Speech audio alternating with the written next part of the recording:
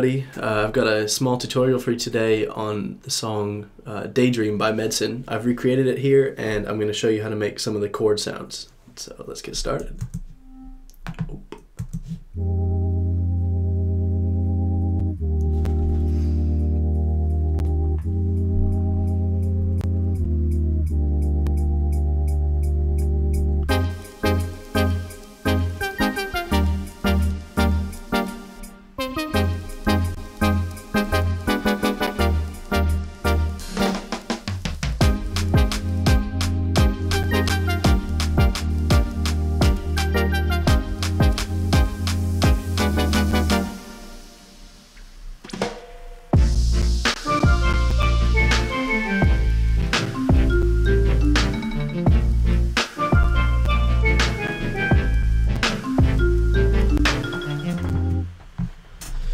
So let's start with these chords in the beginning here.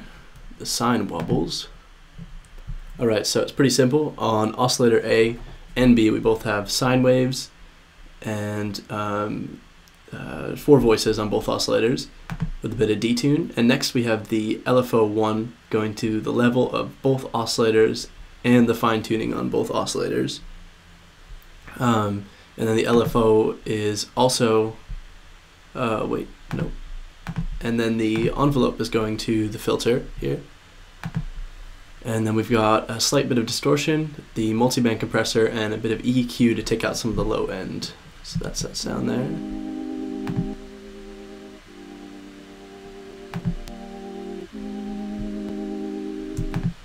Alright, next we've got those first chord stabs.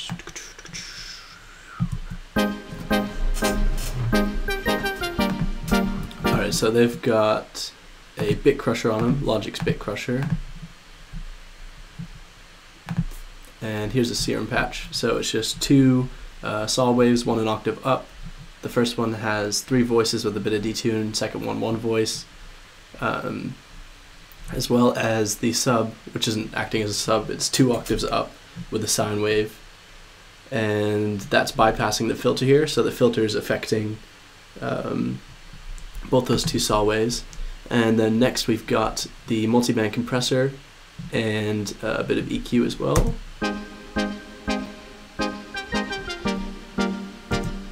So that's without bit crusher there, and now with the bit crusher. And let's compare it to the original.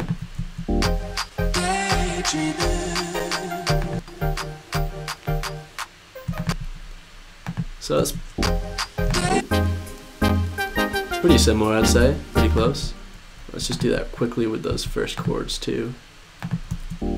See a measure in the hill. And these sound pretty similar, I think. Obviously, I don't have the uh, vocals in there. Could not recreate those myself. I tried, but did not go as well as I'd hoped. All right, and then those last chords in the main chorus kind of section. Sorry, my computer is not handling the uh, screen recording software and the Logic well at the same time. I'm getting a bit of crackling. But let's just power through. All right, these last chords are pretty similar to the ones before. Uh, two saw waves. One has five voices, the other one is one. Um, I've got this LFO attached to them there and the filter as well. So, but B is not going through the filter for some reason. And I've got the multiband compressor and EQ, and I've also got a filter at the end. And this is because the multiband compressor pretty much kills the uh, envelope or the LFO that's controlling them before.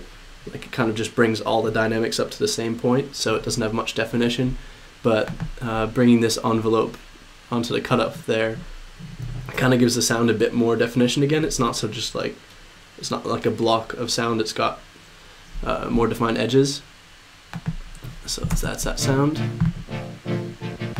and that's without the bit crusher there. Sounds like there's a bit crusher on it, and this is with the bit crusher.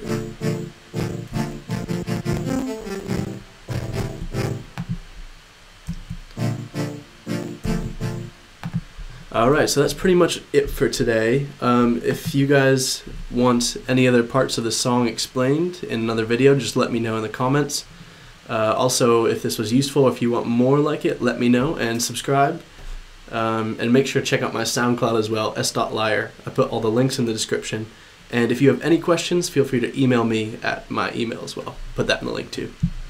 All right, cheers.